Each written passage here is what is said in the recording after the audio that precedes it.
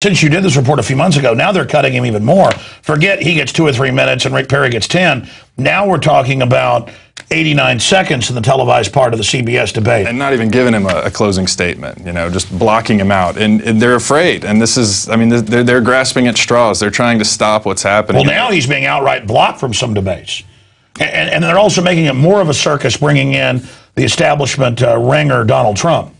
Right, to, so, to so back uh, our yeah. boy Newt. Well, in closing, what are some of these other numbers? Uh, well, I did a, a, correlation and regression analysis, and the purpose of that is to see the, the relationship or association that exists between two variables. I used the Pew Research report as my independent variable to see if it affected the outcomes of the straw polls or the uh, amount of coverage individuals would receive in debates. So the debate coverage and the straw polls are my dependent variables.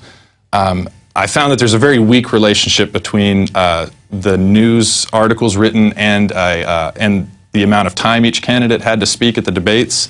But I found a, a relatively uh, a, a, moderate um, association between um, number of news articles written between January 1st of 2011 through August 14th and the number of straw poll victories. But this is the inverse relationship that exists. So it, it produces an R score or a correlation of uh, negative 0.482, and that's out of 1. So a 1 would be, or a negative 1 would be a perfect correlation. So we're about at 50% of a, of a, and that's very small uh, data set. I mean, this is one, uh, one election over just over eight months. So quantify that for a layperson.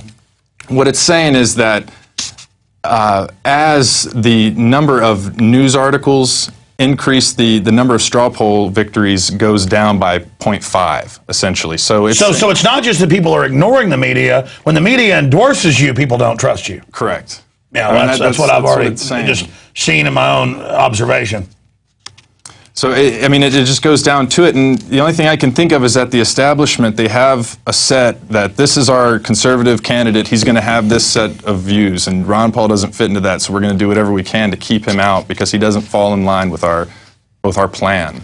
Yeah. Or end game. Wow.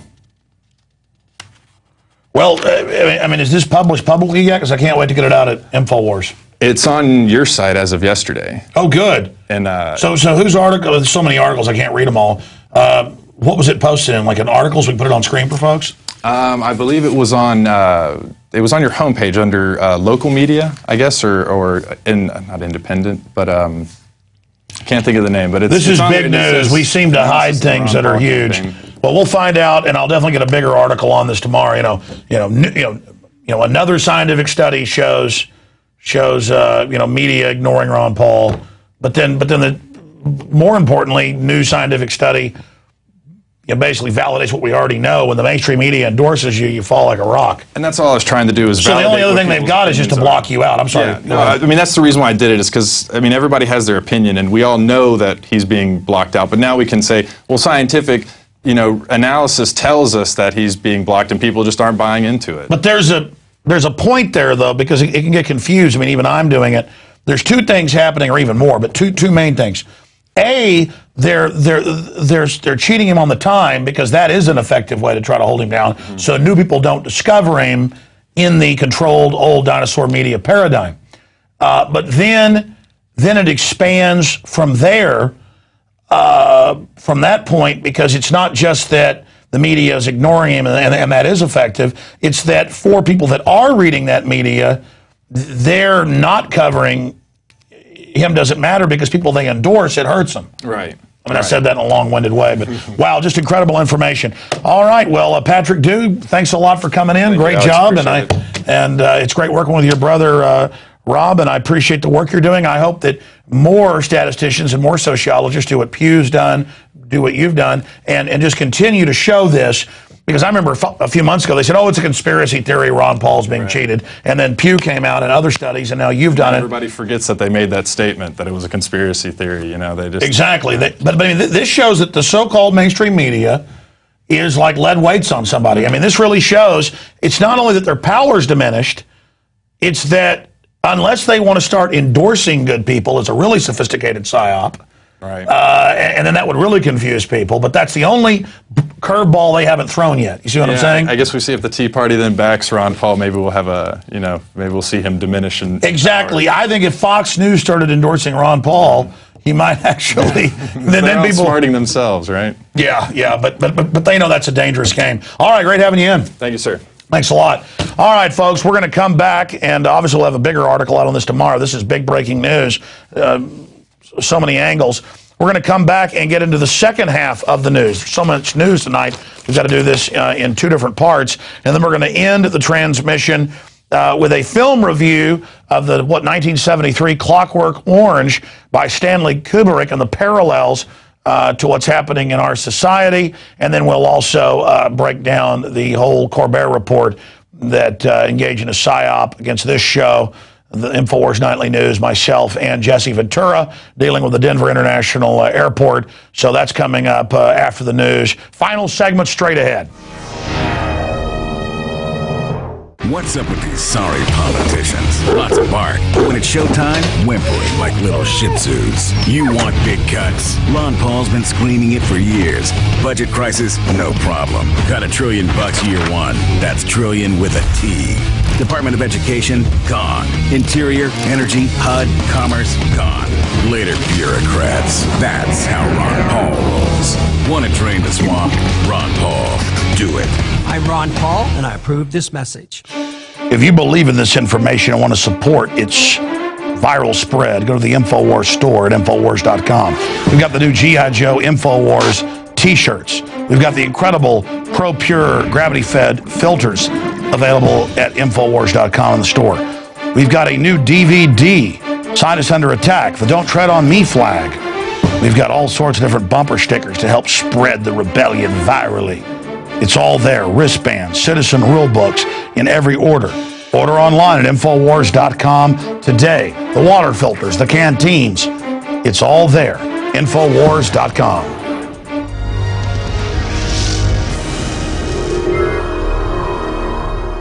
Welcome back. It is the final segment of InfoWars Nightly News on this Tuesday, December 6th transmission. Please go to Infowars.com. Please. And email everybody you know, Facebook, Twitter, this article about uh, the federal government, the government activating the FEMA camps. Now they're moving to put the jail guards, the personnel, the barricades out on the roads, the, the, the, the final system and you know they're admitting that they're preparing for domestic unrest and all of this. This is internal information. It's extremely important that you understand that these are only sub camps for delivery to the one million man camps. Uh, just unbelievable information. Please get that out to everyone. Okay, let's race now through the news. I learned uh, in 1996 from a nurse in San Antonio at one of the three facilities in the U.S. that holds these blood samples. And I was sent secret documents. I, I showed them on local access TV. I, I talked about them on the radio. I actually got death threats over it. Uh, and no one believed me, so it was never an issue. That everybody at birth in the Western world for now 40 years, it's right at 40 years, has their blood taken and put in a database. And now in court cases, it's come out in the last three years because now the corporations say, we got your blood samples, we patented it. And uh, when you go to get a breast cancer uh, system that's uh, genetically based, we've patented that. Even the, they're even now patenting individuals. And it's just a brazen criminality. It's kind of like Monsanto infects your field. Clearly, it's them infecting you because it's not their their variety 100%. It's 1 or 2% of your variety that you have a record you bought seeds for infected by them because you know plants aren't like you have one dad and one mom. It could be in some varieties hundreds of different plants pollen goes in to the genetic uh, but, but I'm getting too technical. The point is that all over the world they're now announcing that they're going to just release everybody's medical records. Governments in the Western world, it's all standardized under the New World Order, the eugenics system in the last decade have been collating all your medical records. What prescriptions you get, everything, what dentist you visit, what was done. That's all indentured servitude where they've got to upload it to them. But they claim it's protected. Now they're announcing in England that they're just going to release all of it. And if you read the fine print of the BBC report, they admit that it's going to be where you live, your name, uh, everything uh, uh, about you. And so everyone under the health service, under the eugenics guinea pigging, is now to be a quote research patient. And they claim this will give great leaps forward. What it allows them to do is use the scientific algorithms and actuaries they already have to go public with it. Kind of like for decades, they've been publishing lists of concealed carry owners around the country in newspapers to harass people.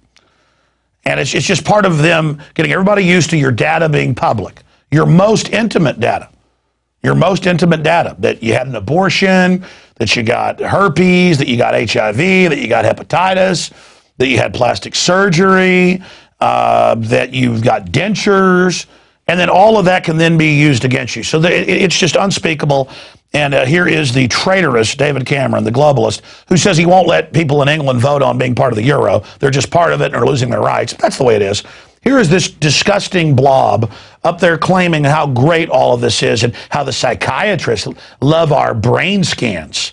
So it's just all part of the scientific dictatorship flaunting their tyranny. Here it is. Opening up the vast amounts of data generated in our health service. From this month, huge amounts of new data are going to be released online. This is the real world evidence that scientists have been crying out for, and we're determined to deliver it. We've seen how powerful the release of data can be. Thanks to the South London and Maudsley NHS Trust, the Institute of Psychiatry now has access to a database covering a quarter of a million patients. It's got their brain scans, their medical records, their notes, a huge wealth of information all consented to, all, anon all anonymous, and that is helping them to find new answers in the fight against dementia. It is simply a waste to have a health system like the NHS and not to do this kind of thing. So we don't want to stop there. We're going to consult on actually changing the NHS constitution so that the default setting is for patients' data to be used for research, unless, of course, they want to opt out. Now, let and then, of course, they later don't let you opt out. This is a government in England as well. It's global unified, standardized for 40 years, almost 40, 39 plus. They take your blood at birth and then lied about it and got caught and say they own your body. These are eugenicists. They're your enemy. They're my enemy. Okay, that's one report. I've got about 20 more. I'm, I'm never going to get through all this. Uh, there's a new report out that Bill Clinton collected $50,000 per month from MF Global well, Newt Gingrich got millions from, what was it, Freddie Mac and all of this. Uh, this later uh, report from How Dare You Department of Clinton Criminal Enterprises, and it just goes through uh, all the reported things he's done as an advisor through Jon S. Corzine, the former New Jersey governor, former head of Goldman Sachs, who admittedly made 40 to 1 bets with his own uh, customers' private accounts. Continuing, the real reason for Obama's threat to veto indefinite detention bill, hint, it's not to protect liberty. Obama wants to veto indefinite detention bill because it would hold the U.S. to the Geneva Convention. And it would give Congress the power, which it rightfully does, to make law. Obama's already told him, I'll kill citizens, I'll arrest citizens. The executive holds that. And his lawyers came out last week and said he may veto the National Defense Authorization Act because he can use the military in America if he wants.